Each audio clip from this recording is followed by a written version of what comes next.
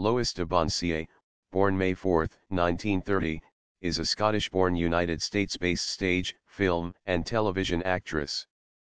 She may be best known for her Drama Desk Award-winning and Tony Award-nominated performance in Paul Osborn's play Morning S at 7. Her other Broadway credits include The Octet Bridge Club, Da, and The Last of MRS. De Banzie has also had a prolific career in television and movies, mostly appearing in small to mid-sized roles but with numerous guest starring parts on various television programs.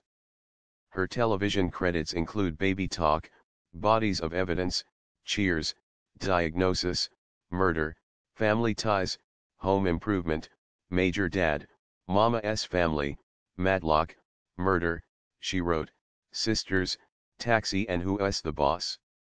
Among others.